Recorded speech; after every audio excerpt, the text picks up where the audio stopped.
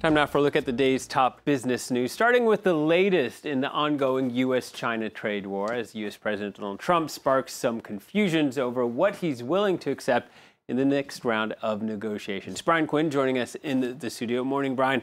You're going to tell us more about this ongoing trade war. Well, Will, the possibility of, quote, an interim deal is the latest variable as Chinese negotiators prepare their trip to Washington next week for the next round of trade talks. Washington and Beijing have been making conciliatory gestures ahead of that meeting, with China renewing its purchases of U.S. farm goods and Trump delaying a planned tariff hike on Chinese goods.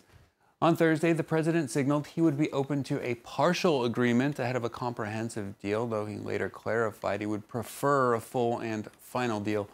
Global economic growth has taken a significant hit from the battle between the world's top two economies. Trump sounded a diplomatic note as he spoke to reporters. Here he is. I got a call from heads of China.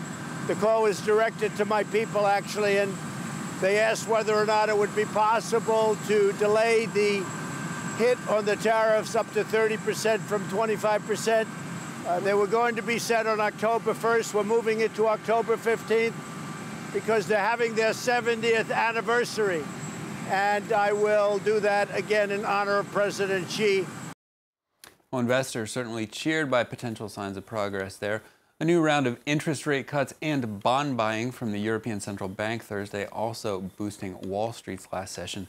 Here in Europe, markets opened relatively flat. London down just over a tenth of a percent.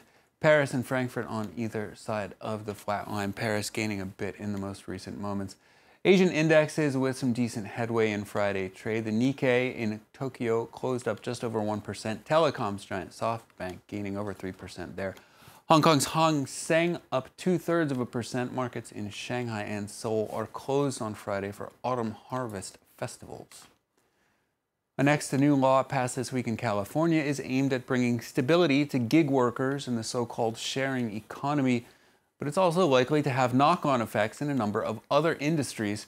If enacted, the law rather will mean workers can only be independent contractors if they're not under the company's control while working and only if their work falls outside, quote, the usual course of company business. That means translators, construction workers, wine growers, and adult entertainers all could see their statutes changed. Camille Nedelik reports. In the modern gig economy, independent drivers have long complained of low pay and long hours. If I'm lucky, I make an hourly of $20 an hour. Uh, after expenses, it's less than minimum wage. But that could be about to change. California's new labor law takes aim at apps such as Lyft and Uber, stipulating that many independent contractors are in fact employees meaning companies will have to provide employee benefits. The change is likely to increase costs for the rideshare apps. But what the companies are saying is that this is a risk to their business model. That's a very vague term. It will increase the, the, their labor costs by about 30% to pay, the, to pay a higher wage, to pay benefits, and so on. But it could also have a knock on effect on many other industries that depend on contractors, such as construction, trucking, and translators of rare languages, where there isn't a demand for a full time job. California's famous wine growers are also worried. They use contractors to transport their grapes, study the soil, and predict the varieties that will be in demand. Uber, which already loses billions of dollars annually, has vowed to fight the legislation. The bill is set to go into effect on January the 1st, 2020, and the rest of the US is watching. Labour experts expect other states in the country to pass similar laws. French Finance Minister Bruno Le Maire has been at the forefront of a battle to rein in giant tech firms in Europe. He now has a new target in Facebook's plan to launch its own cryptocurrency, the Libra. Facebook says the Libra, which is also backed by Visa, MasterCard, and PayPal, could open up e commerce and financial services to more than a billion people who lack traditional banking services. The company plans to peg the Libra to a basket of real currencies and oversee it with a nonprofit trust based in Switzerland. Le Maire told a meeting at the Organization for Economic Cooperation and Development that France will block the Libra in Europe, though here he is. Libra,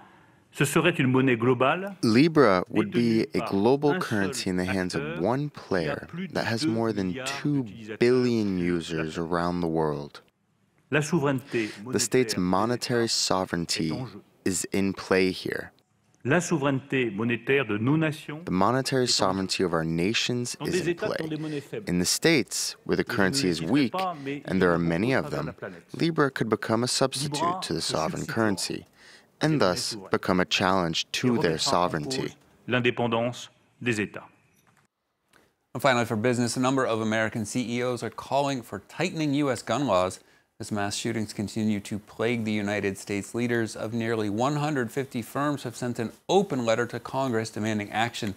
Led by Levi Strauss CEO Chip Bergh and the gun control group Everytown for Gun Safety, the letter asks senators to pass laws requiring background checks on gun sales. Uber, Twitter, and Royal Caribbean also among the companies represented. U.S. businesses are increasingly being called upon to take a position on new firearms legislation, legislation that's currently being blocked by Republicans in the U.S. Senate. The private sector stepping in where the public sector perhaps not doing its job well. Yeah, at least perhaps not till maybe next year. Who knows? Maybe there'll be a new president. We could see how that goes. Brian Quinn with the roundup of the business. Let's